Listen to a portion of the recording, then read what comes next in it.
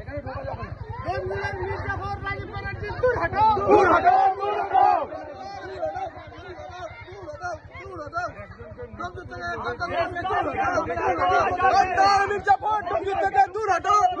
দূর হটো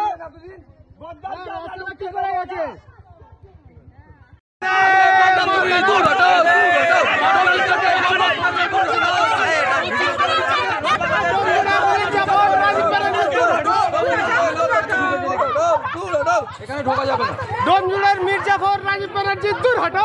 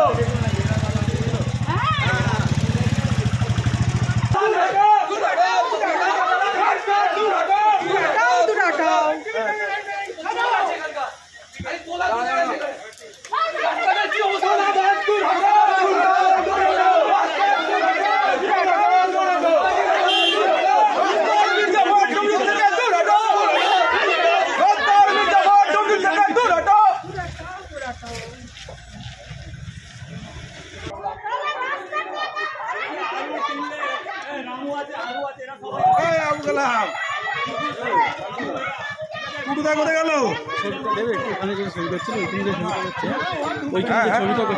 ছবিটা হ্যাঁ ছবিটা তোমার নাম? শুনলাম আমার এটা জানা নেই। আর তৃণমূল কংগ্রেস এরকম ধরনের কোনো কর্মসূচি নেই। এলাকার গ্রামবাসী যদি করে থাকে উনি থাকাকালীন যে ব্যবহার মানুষের সঙ্গে করেছেন এবং ইলেকশনের সময় যেভাবে এলাকার ছা- ছেলেদেরকে যেভাবে অত্যাচার করেছেন তারই প্রতিক্রিয়া হতে পারে। তিনি যখন তৃণমূলেরই একটা কর্মী।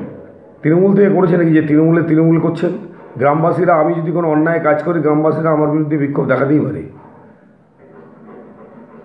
বর্তমানে তো তিনি তৃণমূলের নেতা একজন। আর তৃণমূলে বর্তমানে তৃণমূলে আছেন তার মানে তো এই নয় যে তৃণমূলের লোক তো করেনি। করেছে গ্রামবাসীরা সেখানে আমি কি করে বলব?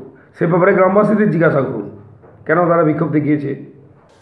রাজীব বন্দ্যোপাধ্যায় উনিও শ্রদ্ধা জানাতে আসছিলেন যতটুকু আমরা শুনলাম বাড়ি থেকে যে ওনাকে পাকুড়িয়া ঠিক ওর বাড়ি ঢোকার মুখে কিছুটা দূরে ওনাকে পথ অবরোধ করে আটকে দেওয়া হয় এবং তাকে বিক্ষোভ দেওয়া হয় গোব্যাক স্লোগান দিয়ে তাকে আবার ব্যাক করে দেওয়া হয়।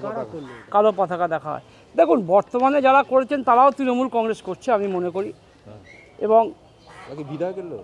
অবশ্যই তারা বিধায়কের লোক ঠিক আছে অবশ্যই তারা বিধায়কের লোক। কল্যাণ বিধায়কের ডোমজুর কেন্দ্রের বিধায়কের লোক এবং তা ওনার অঙ্গুলি হিলনে নয় একদম পুরো মদতে পুরো মদতে ওনার মদতেই হয়েছে। নাহলে তৃণমূল কংগ্রেসের তো আজকে উনিও তৃণমূল কংগ্রেসে জয়েন করেছেন বিজেপিতে গিয়েছিলেন কিন্তু তৃণমূল কংগ্রেসে উনি জয়েন করেছেন অভিষেক বন্দ্যোপাধ্যায়ের হাত ধরে। আমি এখানে রাজনীতিটাকে পরে নিয়ে আসছি। আমার মনে হয় একজন মৃত ব্যক্তির সঙ্গে এইভাবে রাজনীতি করা উচিত হয়নি। আমার জেঠুর আত্মা হয়তো শান্তি পাবে কি জানি না? আমার গ্রামের মানুষ এবং আমার বাড়ির মানুষ, আমার পরিবারের মানুষ অত্যন্ত দুঃখজনক ঘটনা বলছে এটা। এটা করা উচিতই হয়নি। দেখুন এটা টিএমসির চরিত্র। টিএমসির আসল রূপটাই এটাই হলো। যারা টিএমসিতে যতদিন থাকে, চোর বদমাস পাকিটমার, তারা টিএমসির ভালো কর্মী, তারা সত্তার সঙ্গে পার্টি করছে। যখনই তারা অন্য দলে চলে যায়, তারা চোর বেইমান হয়ে যায়, গাদ্দার, মীর জাফর হয়ে যায়। আবার মীর জাফর যখন বাড়ি ফেরে, আবার নাকি ওর ঘর বাপসি হয়ে যায়। এখন যে যেরম করবে, সেরম হবে। উনি যখন টিএমসি ছেড়ে গেছিলেন, তখন উনি বলেছিলেন যে, টিএমসি একটা প্রাইভেট লিমিটেড কোম্পানি, সেখানে পিসির ভাইপোরের সরকার চলছে। নিজের এলাকায় টিএমসির লোকেরা যেভাবে গাদ্দারি করেছিল, মানুষকে পরিষেবা দিতে দেয়নি, সেই সব অভিযোগ উনি যখন বিজেপিতে ছিলেন, লাগিয়েছেন। স্বাভাবিকভাবে আবার উনি যখন ফেরত এসছেন, সেই জায়গাটা যারা ধরেন রেখেছে, তারা আর ওনাকে মেনে নিতে পারছে না।